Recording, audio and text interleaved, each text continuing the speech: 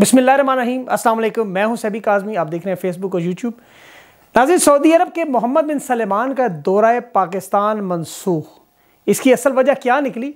शहबाज शरीफ को इतना अफसोस हुआ कि उन्हें बुखार आ गया और चार दिन मज़ीद बरतानिया में रुक गई।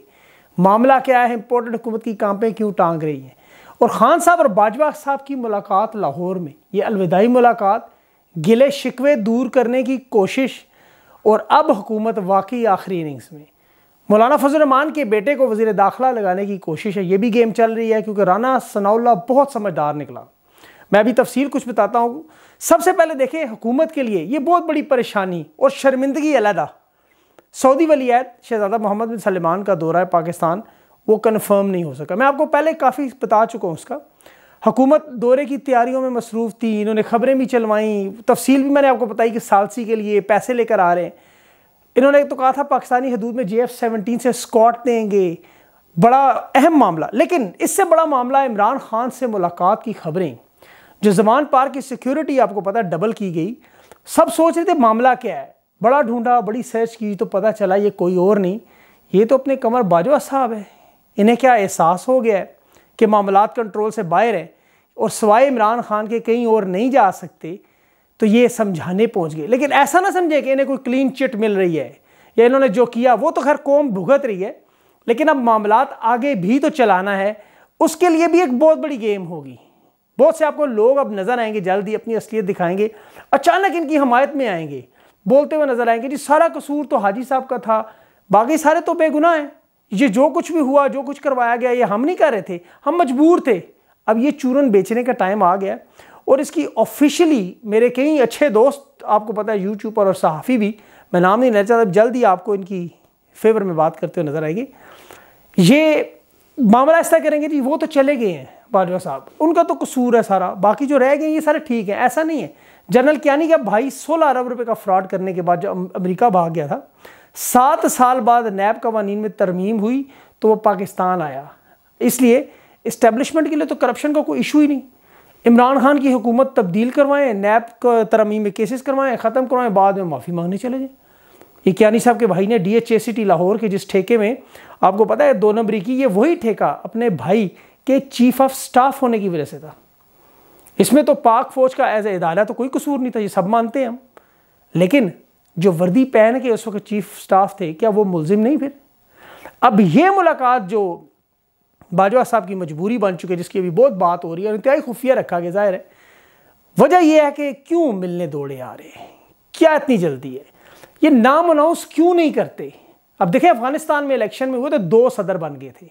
इस तरह दो आर्मी चीफ तो नहीं देख सकते। अभी वक्त है, जानबूझकर से डिले करना मुफाद में नहीं है। अगर नाम आप पहले से फाइनल कर चुके हैं तैनाती का तो बता दें जो होना होगा। कुछ रिटायर हो जाएँगे, कोई किसी को सरकारी महकमा मिल जाएगा। जाना तो सबने है एक ना एक दिन। कुछ जल्दी चले जाएँगे कुछ देर से जाएँगे। लेकिन इनका बाकी दुनिया के मुकाबले में देखें, दुनिया किस तरह तरीका वारदात करती है। मैं आपको एक मिसाल देता हूँ। आपको याद होगा, ये कहते हैं जी, पाकिस्तान सेफ़ नहीं है। कोई दौरा नहीं करने आता, कोई क्रिकेट खेलने नहीं आता। अब सबक वजी अजम को दिन दिहाड़े इमरान खान को गोलियाँ भी मारेगी लेकिन इंग्लैंड की टीम दौरा करने के लिए तैयार है। सऊदी शहजादे ने भी अपनी सिक्योरिटी की टीम भेजी कि जाकर देखो कि मेरे लिए वहाँ सब कुछ सेफ़ है नहीं। कहा गया, नहीं, आपके लिए सेफ़ नहीं, क्योंकि आपकी बात नहीं मान रही। जिस बंदे पर आपकी नज़र है, उसका दूर दूर तक चांस नहीं बनाया जा रहा। और असल प्लान भी यही था। देखें, गुफ्त शनीद जो हो रही है, क्या तहरीक इंसाफ और नून लीग को आपस में बिठाएँ? बातचीत करें, गुफ्त शनीद करें। सदर आरिफ अलवी में बड़ा अहम किरदार अदा करें। अभी जितने भी मामला हैं, आरिफ अली साहब ने हफ़्ते को इमरान खान और कमर बाजवा साहब से मुलाकात का ज़िक्र था, आपको पता है। ये मुलाकात इन तीनों के दरमियान भी तीनों हो सकती थी या वन ओ वन भी थी। तो मुल्तान गैरिजन में जब फौजी अफसरान और उनसे मुलाकात ख़त्म हुई, उस अलविदाई दौरे से वापस आते हुए ये लाहौर में ठहरे। अब देखें, वो रास्ते में मुल्तान से लाहौर था। दूसरी तरफ़ नवाज़ शरीफ साहब सियासी तनाव को कम करने के लिए उन्होंने कहा, जी, मैं तो किसी तरह हटने से तैयार नहीं हूँ। इस पर कोई बात नहीं होगी। आर्मी चीफ की तैनाती मानते हैं। अब फिर फौज की जानब से तहरीक इंसाफ और मुस्लिम लीग नून को दो दो कदम पीछे हटने के लिए दबाव डालते रहे कि, जी, अभी मोहम्मद बिन सलमान आएँगे, वो भी बैठ के बात करेंगे, तब्दीली का अमल हो, फिर पैसा भी आएगा और फिर कौम मुल्क की इसमें बेहतरी होगी, इलेक्शन चलेंगे सारी चीज़ें आहिस्ता आहिस्ता बेहतरी की तरफ़ जाएँगी, लेकिन मामला इदारे की इज़्ज़त का बीच में आ गया। Major general Faisal Naseer, brigadier Rashid Faheem, ये लोग अड़ गए इन पर कि जी इदारे की सारी इज़्ज़त और साख ख़त्म हो सकती है। अब हम लोग मालदीव की फ़ौज की तरह तो नहीं रह सकते, या ना नेपाल की तरह हो सकते हैं। हमारी इस तरह इज़्ज़त कौन करेगा अगर हम इस तरह पीछे अट गए? ये स्टांस हमें लेना होगा हम ज़िद पर अड़ जाएँगे। अब ये ज़िद पर लेंगे तो उसका नाम इमरान खान है। असूलों से वो भी नहीं हटता। बातचीत तो इमरान खान तैयार है बातचीत करने के लिए, बल्कि एक मौके पर तो यहाँ तक कि तोसी चलें दे देते हैं। जो भी आर्मी चीफ बाद में नया लगे, अगली हुकूमत उसका फैसला करे। कुछ माँ करने दें याशी, लेकिन ये समझे कि इमरान का मंसूबा क्या है। खान इनका पचहत्तर साल का कब्ज़ा ख़त्म करना चाहता है। तो इसीलिए ये मामला फिर ख़राब हुए और यहाँ इस नहज पर पहुँच गए कि मोहम्मद बिन सलमान ने फिर इस दौरे को फ़िलहाल मनसूख कर दिया। ये खबर की तस्दीक भी हो चुकी है। सऊदी वलीत का जो नया शेड्यूल है, वो ज़ाहिर है, बाद में जारी होगा जब सारे राज़ी होंगे।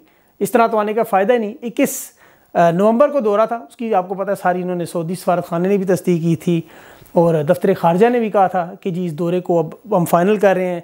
जैसा मैंने बताया, वो स्क्वाड भी रेडी हो गए, सब कुछ रेडी हो गया। मामला तय करने थे सारे। इन्होंने क्योंकि साथ अपने दो शरीय चार अरब डॉलर का एक बेल आउट पैकेज देना था।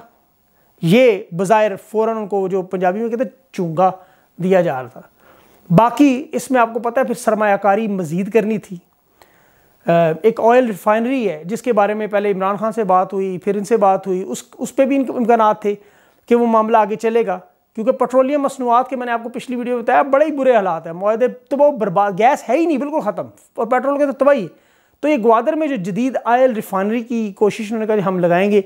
उससे हम आपको रिस्क शेड्यूल भी करेंगे कर्जे, आपके मतलब हालात बेहतर कर देंगे हम। तो उस दौरान फिर उन्होंने अपनी खसूसी टीम भी भेजी पाकिस्तान में, जिन्होंने जाकर वहाँ मोहम्मद बिन सलमान की सिक्योरिटी के अरेंजमेंट देखने, सिक्योरिटी के। दूसरे मानों में देखना था कि इन्होंने जो शराइ रखी हैं, उस पर ये तैयार हैं या नहीं। अब मैंने बताया बीच में वो आ गया मसला, सारा उधर से काम करा शहबाज शरीफ ने सुनना था वो उधर ही रोके। उन्होंने कहा, उनका जहाज़ चार दिन से लंदन में पार्क है, उसका खर्चा आवाम के टैक्सों से पड़ रहा है। बहाना क्या किया? मुझे बुखार हो गया। खबर ही ऐसी मिली उन्हें। खबर मिलने की देर थी, उनके तो पैरों से ज़मीन निकल गई। और शहबाज शरीफ साहब, वरना देखें, जितनी जल्दी लंदन से आना चाह रहे थे, पाकिस्तान में इमरजेंसी लगी है एक तो अदालतों में ख्वार हो रहे हैं वहाँ। दूसरा, तैनाती पर मरियम नवाज़ और नवाज़ शरीफ साहब इस वक्त सख्त नाराज़ है, वो नहीं छोड़ेंगे किसी सूरत में। तो शहबाज शरीफ को अब इन्होंने वापसी पर जो बुखार महसूस हुआ, बुखार तो होना ही था।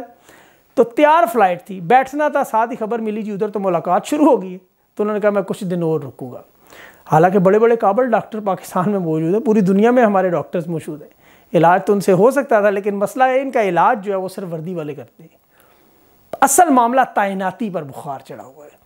मुलाकात हुई, फिर सऊदिया ने डिमांड कर दिया, बंधा वो लगाएँ जो अमेरिका को नथ डाले। हमें ऐसे दोस्त नहीं चाहिए। अब हमें वो चाहिए जो साथ खड़ा हो अमेरिका के।